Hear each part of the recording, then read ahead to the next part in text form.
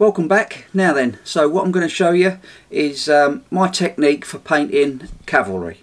So I've got these built, so these are uh, the French cavalry, this one.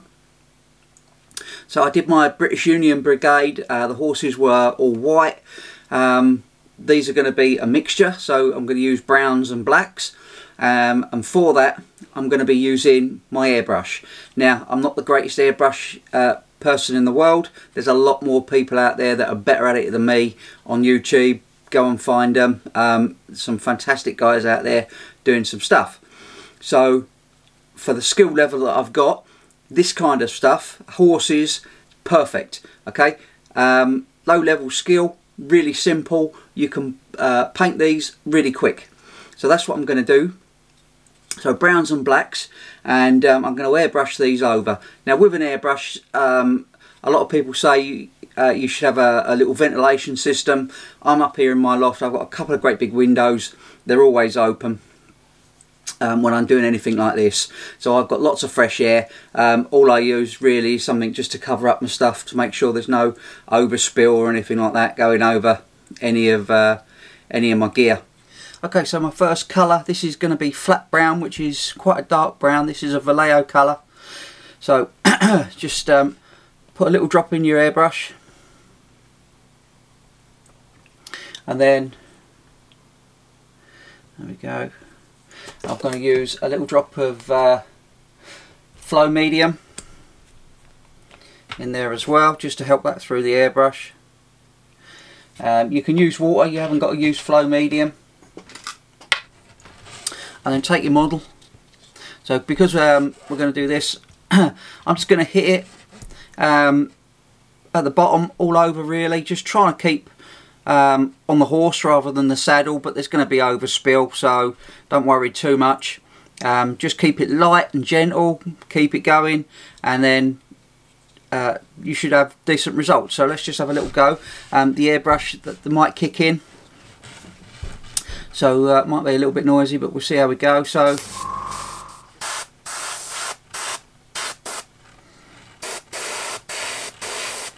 And the thing with like most airbrushes, you know, you get good coverage um, and you get nice smooth paint. So like I say, it's perfect for horses and that type of stuff. You know, vehicles, if you're doing bolt action stuff, tanks and vehicles, uh, you can get some really, really nice results so there we go, that's one done already. So it's all brown all over. Okay, so I'm going to do a couple more and then I'll show you the next bit.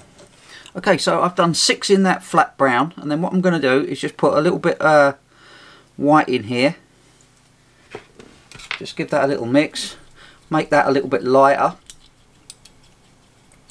So all we're going to do is just make a little bit of variance in the horse colour and uh, just go on now with the new colour. Um, if you don't like it if it's too light too dark um, just you know don't worry at this stage. We're just getting our first colour on. And uh, we'll move on once we've done a couple more Okay, so we've done some brown. They've got some brown left in here. So all I'm going to do now is just add a little bit of black to this. Not a lot. A couple of little dobs of black. Uh, that takes us right down to a dark brown. And again, I've put a little bit of thinners in there. And I'm going to do the last two horses. So I'm going to start just doing these um, a darker colour. Show you the colours that we've got so far. Like I say, it doesn't take long to get these done. Okay. Right, so we have got, that's the darker one, and that's the lighter one. Hope you can see that, little variance. Um, yeah, so they look good. So, now we've done that, all I'm going to do now is, now I've got this darker brown, I'm going to go down um, and just hit the bottoms of the horse. Okay, so just uh, just down the bottom of the horse and right on cue, the colours run out. Okay, I'm going to refill and we'll do a little bit more. Okay, so the brush reloaded. Um, now all I'm going to do is go round hit the bottom of this horse uh, just just round underneath just not too heavy because these aren't dry properly yet so you're not going on top of uh, dry paint you're going on top of wet paint so just just nice and easy with it. And then just bring out this second colour around the base and that's going to give you a really nice sort of tone between the colours of the horse.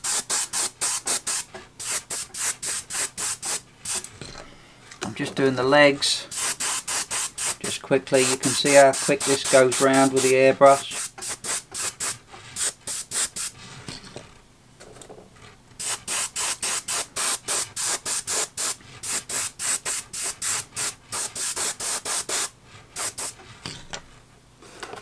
Okay, so I've mixed up um, some lighter brown now. I've gone in with a flat earth uh, with a little bit of the uh, flat brown. So it's a lot lighter now.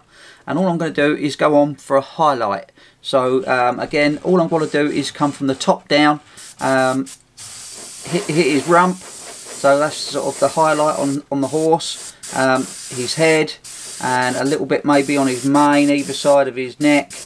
Um, just not too heavy Um, there we go, take a little bit of practice just to get that going and uh, hopefully you can see there we've already got some nice highlights going on with the shadow underneath of the darker colour. So um, I'm going to do a few more. Okay, and then last of all, um, I'm going to hit one or two with um, a, a, a cream, an ivory, just on their feet, just to bring out that colour. Okay, so hopefully you can see that where it's all splattered all up the legs. So um, I'm going to go back in and just hit the uh, clean up with uh, some brown. So back with the flat brown again. Um, and just and just just basically clean up the, the overspill, the mess. Bring back to the shading that you want.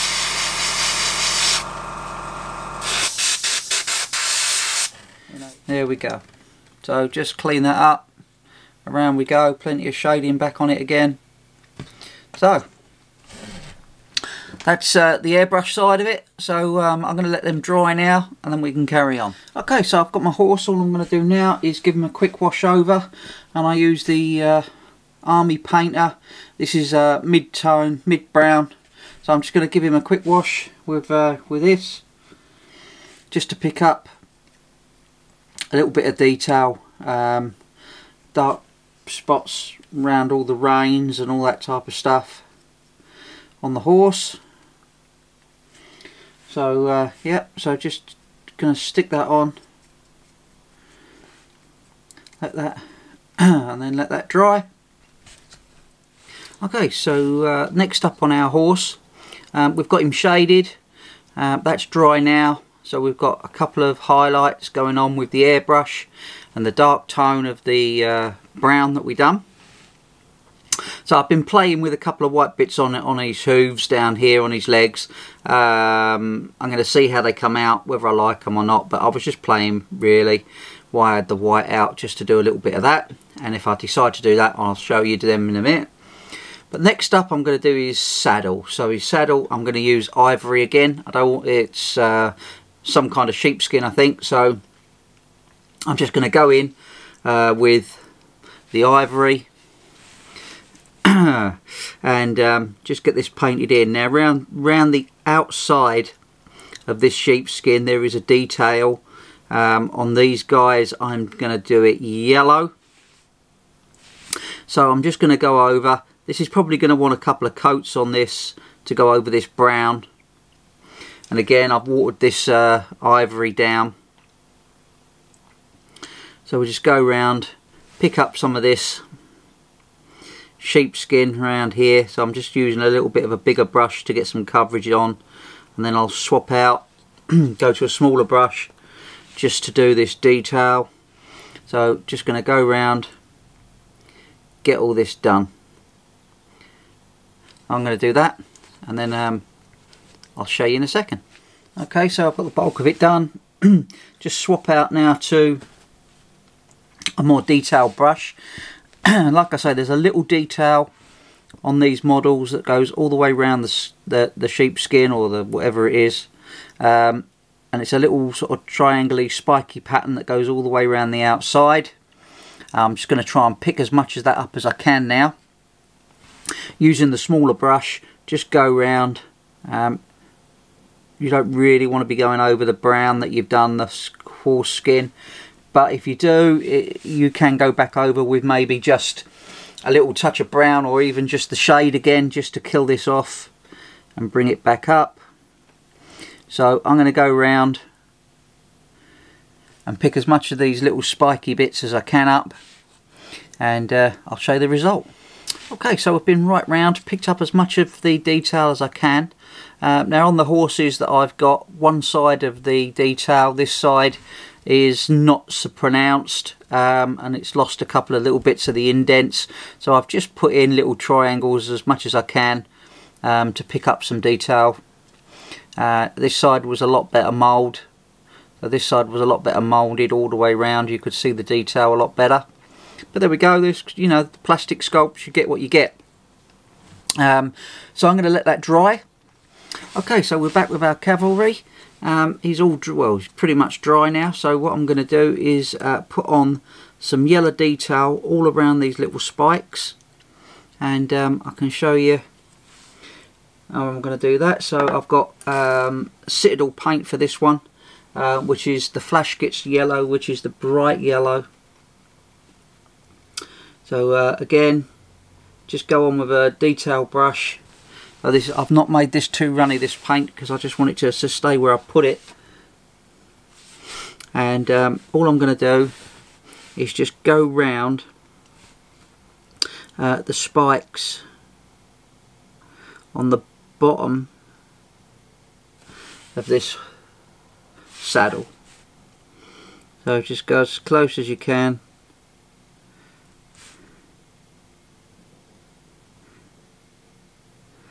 doesn't matter if you go too far up on the saddle because we're going to go back over in a little while with some more ivory. We're just going to go around and pick up all the little detail on the edge there. Okay hopefully you can see that. Um, just all sort of just around here just sort of just feather it in just nice and easy just go around pick up as much detail as you can. So I'm going to do the rest of that and I'll show you what comes out. Right okay so we've gone right round now. Um, right round the horse or, or, or the saddle with the yellow trim. We're going to let that dry and then um, we'll finish off the saddle. I'm going to put this black line in here now as well.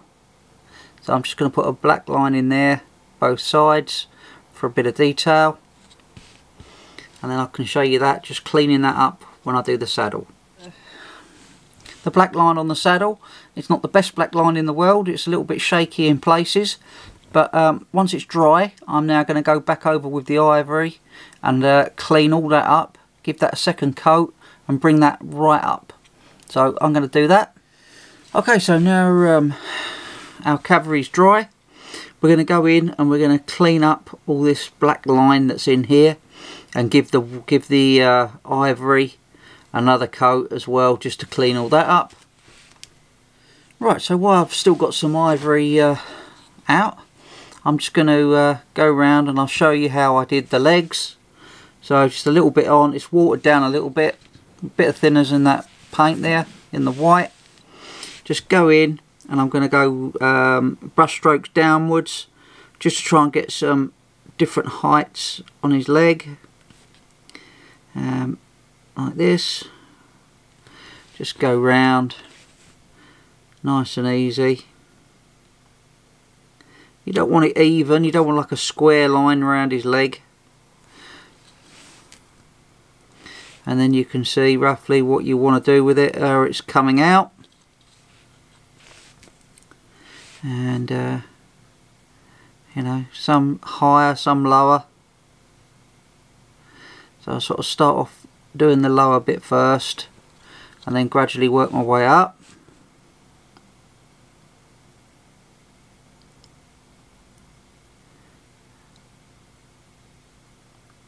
And find a pattern that you like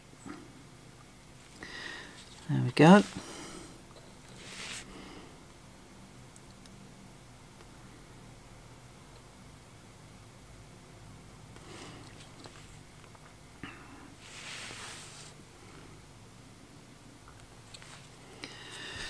then once you've uh,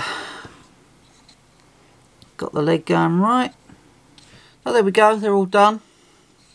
All the four legs. I think they look quite effective really on this dark brown so uh, yeah so they come out really nice.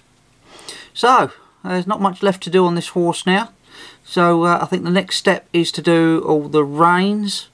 Um, I, again I use my uh, dark grey for all the the bridle work. So um, that's next. I'll start that and I'll show you how I get on. Right so the dark grey going to do all the uh, leather with this and um, there's not that much to do so take your time going round and um, it doesn't take too long to pick this up Okay, so uh, now we're pretty much there. So I'm going to put the uh, aluminium on his bridle. And uh, like I say, it's, it's lovely paint this. Goes on really, really nice. If you've not used it before, get yourself some. Is absolutely lovely. Right, so I'm just going to put a little bit here, here, and then a couple of little dobs here.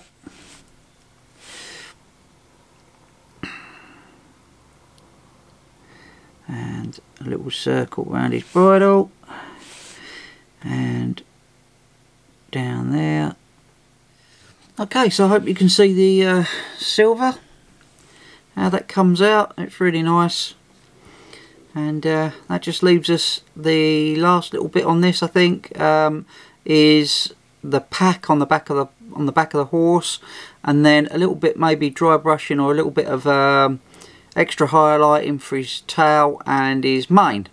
So um, I'll sort some paints out and we'll move on. Okay, so we've all caught up. Um, all I've got to do now is I'm going to paint the uh, knapsack or whatever that is, his bedroll on the back of the horse. I'm going to paint that green. Um, as far as I can tell, the closest colour that, um, that I can get to what it is is I'm going to use the Army Painter Goblin Green. It's quite nice, it's nice and bright. So um, I'm going to go with that. It's uh, just put it on. We're going to need a couple of coats here. So uh, I'm just going to put the first coat on and then we're going to have to go over. But there's a little bit more detailing to go on this as well. So I think there's actually some yellow piping to go around here. So just get this green on get the first coat of green we may have to go on with some white to make this yellow stand out uh, uh, first of all just let's get this green done on his back on the pack of this horse and then we can move on because we are nearly nearly nearly finished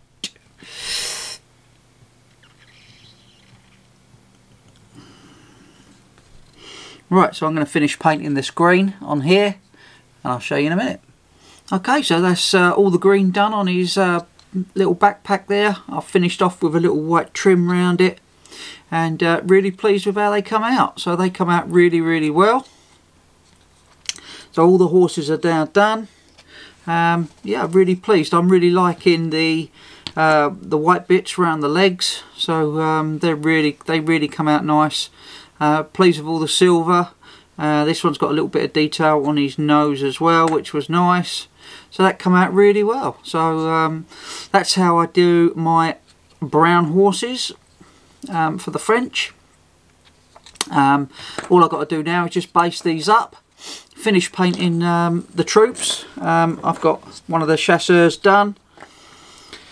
So there he is, all mounted, and um, really pleased with it. So that's uh, you know it looks really good on there. Some nice bright colours. The green's nice, bit of highlighting going on as well. So really come out well. Really pleased with those, and they go nice with the army. So there you go, they're the French chasseurs.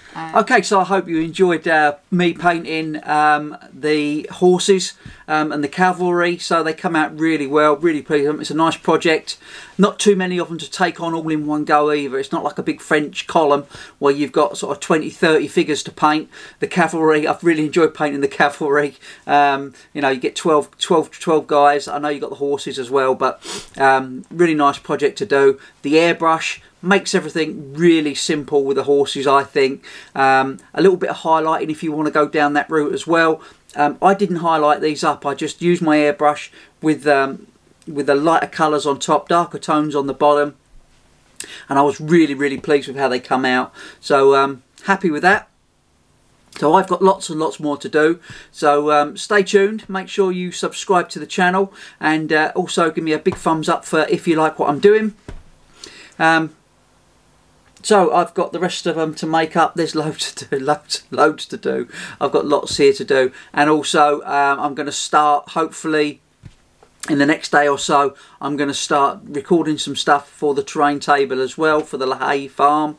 Um, that's coming along. The farm's built, um, so I'm just sort of laying out where I want to put the farm in the in relation to the whole board. It looks like it's going to have to go slap bang in the middle. Um, so keep an eye out for that and um, I'll post some pictures and I'll post some other stuff coming up a bit later on. So thanks for watching again and uh, I'll see you in the next one.